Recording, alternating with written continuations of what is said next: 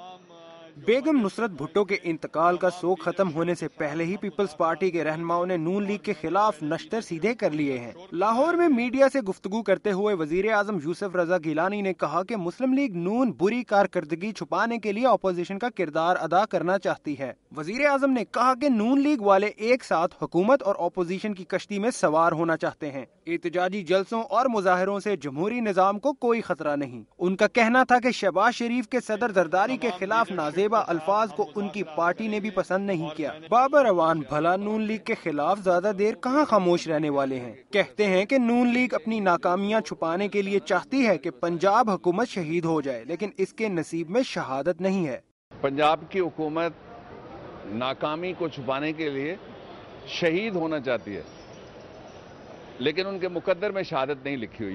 वफाकी वज़ीर दाखिला रहमान मलिक कहते हैं कि नवंबर में किसी सियासी तब्दीली का इम्कान नहीं। मौसम ज़रूर तब्दील होगा। अपोजिशन इलेक्शन का इंतज़ार करे। तब्दीलियाँ जो अल्लाह लाता है, मौसम की तब्दीली नवंबर में ज़रूरी है।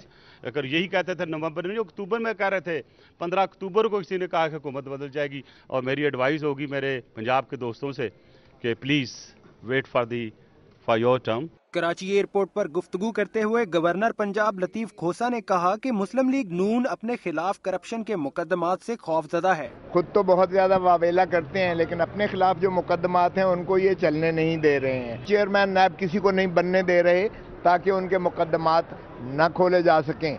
दूसरी जानब मुस्लिम लीग नून के मरकजी सेक्रेटरी जनरल इकबाल ज़फ़र झगड़ा ने कंदकोट में गुफ्तगू करते हुए कहा कि सिंध में मुस्लिम लीग नून के दफातर अगर फिर नज़र आतिश हुए तो ईंट का जवाब पत्थर से दिया जाएगा। हम अगर चाहते तो ईंट का जवाब पत्थर से दे सकते थे, लेकिन हमने इससे गुरेज किया, बावजूद इसके कि यहाँ पर लोगों ने टेलीफोन पे भी हमसे रबते किए कि जी, हम भी इसका जवाब देना चाहते हैं। सियासी तजिया कारों का कहना है कि दोनों बड़ी जमातों में बयानबाजी से सबसे ज़्यादा अवाम मुतासर हो रहे हैं, जिनके मसाइल में रोज ब रोज इजाफा हो रहा है।